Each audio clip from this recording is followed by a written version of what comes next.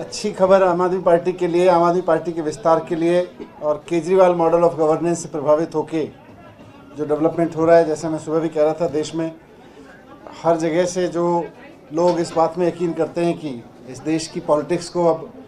Education की दिशा में आगे बढ़ना चाहिए, हेल्थ की दिशा में आगे बढ़ना चाहिए, रोज़गार की दिशा में आगे बढ़ना चाहिए और डेवलपमेंट की दिशा में आगे बढ़ना चाहिए। और ऐसे मुद्दों से हटके जो लोगों को लोगों की ज़िंदगी को प्रभावित नहीं करते। ऐसे मुद्दों पर आना चाहिए जो लोगों की ज़िंदगी को प्रभावित करते हैं और केजरीवाल मॉडल ऑफ़ गवर्नेंस में दिल्ली में उसमें काम हुआ, पंजाब में उसमें काम तुरंत सरकार बनने के बाद शुरू हो गया। तो उससे प्रभावित होके, जैसा आप देख रहे हैं, अशोक तंवर जी, जो पूर्व सांसद भी हैं और कांग्रेस में बहुत बड़ी बड़ी जिम्मेदारियों पर रह चुके हैं, एनएसयूआई के नेशनल प्रेसिडेंट रह चुके हैं, यूथ कांग्रेस के नेशनल प्रेसिडेंट रह चुके हैं एआईसीसी के सेक्रेटरी रह चुके हैं, कई प्रदेशों के इंचार्ज रह चुके हैं, हरियाणा के प्रदेश अध्यक्ष कांग्रेस के रह चुके हैं। तो वह आज आम आदमी पार्टी ज्वाइन कर रहे हैं और मकसद वही है कि केजरीवाल मॉडल ऑफ़ गवर्नेंस को, केजरीवाल जी की राजनीति को हरियाणा में भी आगे लेके जाना और देश भर में इनके अनुभव का पार्टी को भी फ़ायदा मिलेगा। इनके साथ साथ हरियाणा से पत्रकार शिव कुमार शर्मा जी भी ज्वाइन कर रहे हैं और संदीप भारद्वाज जी और विशाल विकास भारद्वाज जी जो काउंसलर हैं वो भी ज्वाइन कर रहे हैं यहाँ पे। तो मैं आपका बहुत स्वागत करता हूँ पार्टी में। आम आदमी पार्टी परिवार में आपका स्वागत है और मैं चाहूँगा आप भी दो शब्द रखें। आदरणीय मनीष सिसोदिया जी आदरणीय हमारे सुशील गुप्ता जी भाई महेंद्र जी और तमाम साथीगण जो आज और साथी ज्वाइन हो रहे हैं वो भी और सभी हमारे मीडिया के साथीगण। मैं सबसे पहले दिल्ली के यशस्वी मुख्यमंत्री और आम आदमी पार्टी के राष्ट्रीय संयोजक अरविंद केजरीवाल जी का आभारी हूँ, धन्यवादी हूँ कि उन्होंने मुझे भी और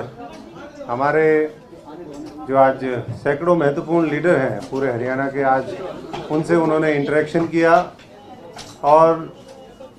अपनी पार्टी में जो हम सभी साथियों की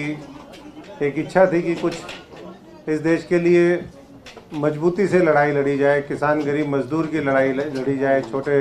दुकानदार की, कर्मचारी की लड़ाई लड़ी जाए, और इस देश को बचाया जा सके। और जो भी हमारे मनीष जी ने कहा कि केजरीवाल मॉडल ऑफ़ जो गवर्नेंस है डेवलपमेंट है,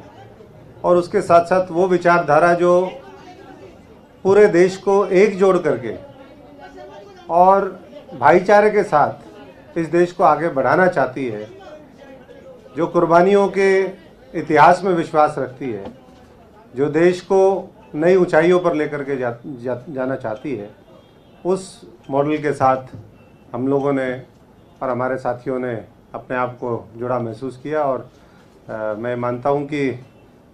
आने वाले समय में वो एक आशा की किरण है एक रोशनी की किरण है। मैं तमाम साथियों को बधाई देता हूँ, जो आम आदमी पार्टी के साथी रहे। उन लोगों ने जिस तरीके से मेहनत करी और लगातार एक शॉर्ट स्पेन ऑफ़ टाइम के अंदर जिस तरीके से एक मज़बूत इम्प्रिंट उन्होंने पूरे देश की इस राजनीति में छोड़े हैं, उसके साथ हम हम कदम बन करके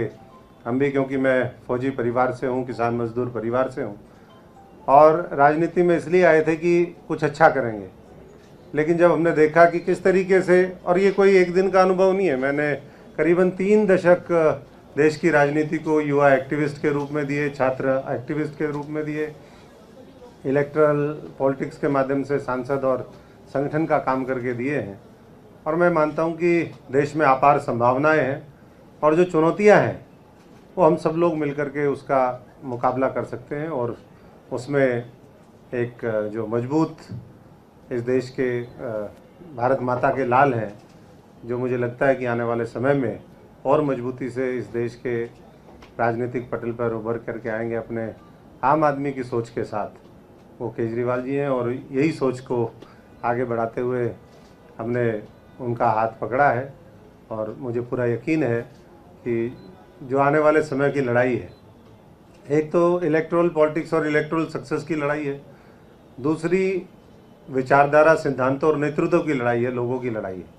तो उसको वो और बखूबी लड़ेंगे और जो भी हमारे ड्यूटी लगेगी उसके लिए पूरा हमारा अनुभव, हमारी क्षमता, हमारा समर्पण वो उनके साथ है। और मैं इतना ही कहते हुए कि भारत माता का लाल, करेवरा कमाल केजरीवाल केजरीवाल। थैंक यू मैं अशोक तंवर जी का आज आम आदमी पार्टी के अंदर हार्दिक अभिनंदन करता हूँ। इन्होंने धर्म और जाति की राजनीति को छोड़ के, काम की राजनीति को अपनाया, भ्रष्टाचारी व्यवस्था को छोड़ के, ईमानदार राजनीति को अपनाया। हरियाणा की जो हालत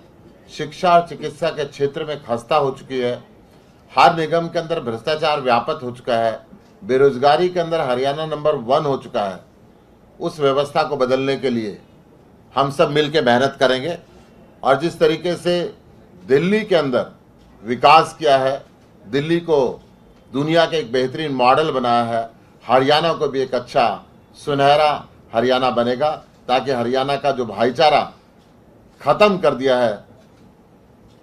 एक ऐसी राजनीति फैला के जो एक दूसरे के खिलाफ भड़काते हैं धर्म के नाम पे, जाति के नाम पे, उसको खत्म करके एक खुशहाल हरियाणा बनेगा, भाईचारे का हरियाणा बनेगा। जय हिंद।